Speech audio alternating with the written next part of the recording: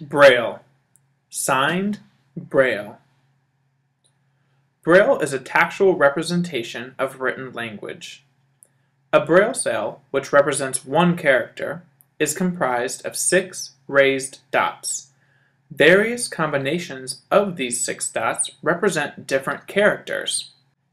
Each dot is assigned a number. They are arranged in two vertical columns, dots 1, 2, and 3 on the left, and 4, 5, and 6 on the right.